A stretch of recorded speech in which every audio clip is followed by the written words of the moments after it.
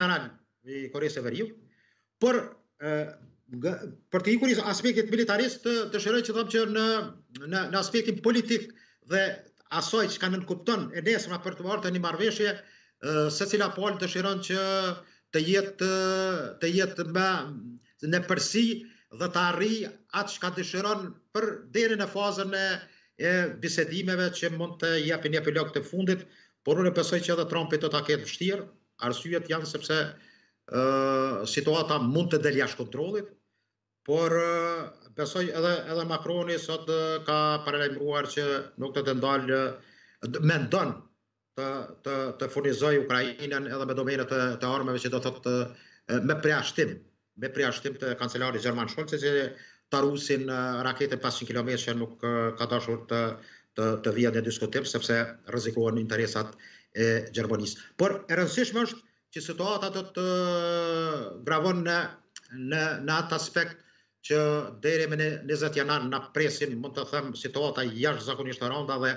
e tëra ajo që do që do të sjell në Ukrainë mund të jetë plani që të godas edhe vendet të cilat furnizojnë Ukrainën, por për momentin besoj që Putini dhe Rusia po luajnë një lojë jashtëzakonisht të rrezikshme edhe për sigurinë globale dhe jo vetëm në territorin e Ukrainës. Dhe një pyetje të fundit për ta mbyllur zoti Bilalli, çfarë po ndodh në terren? Pra, Ukraina të paktën shumë analiza që kam parë thonë që është duke humbur luftën. Si është e vërteta? Po të them të drejtën tashti informacionet dhe analiza mund të jenë varet burimi i informacionit, në terren është vështirë të parashihet, sidomos në pjesën lindore, në Donbass kemi luftime jashtëzakonisht të rrepta, në pjesën sot është goditur bukur shumë Harkivi me me, me, me armë dhe me dronë dhe raketa ruse. Edhe Mykolajevi po ashtu, Kijevi po ashtu, por situata në, në, në pjesën lindore të Ukrainës është që ka, ka përparime të forcave ruse me një fshat 2, 2-3 km, në Kupjansk në pjesën veriore, Dhe vija dikund mund të them 1000 kilometrësh e frontit deri në Nikolajev është jashtëzakonisht një vijë Zaporozhi dhe Hersoni, por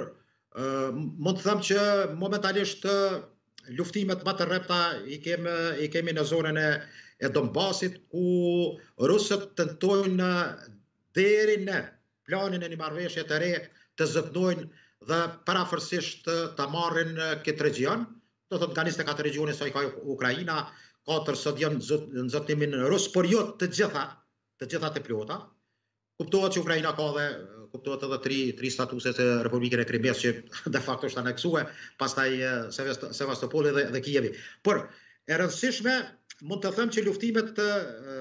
kanë arritur një një situatë ku rusët goditjet meqenëse Ukraina ka marrë një përforcim të 4.000 dronëve kamikaz gjerman, LT, të cilët të Helsing, të cilët janë të provuar në dikun në të afër Minhenit, dhe më dikun goditja tyre dhe afsia për të goditur është dikun 3-4 km dhe për, është e mirëseardhur për ukrainasit në frontin lindor që të godasin forcat e e infanterisë ruse, mirëpo rusët të tosin një armën termobarike e përdorin dhe artilerinë e cila e cila me të vërtetë ka ka ka ka shkaktuar dëme të mëdha tek tek pala ukrainase, meqenëse rusët nga shënimet që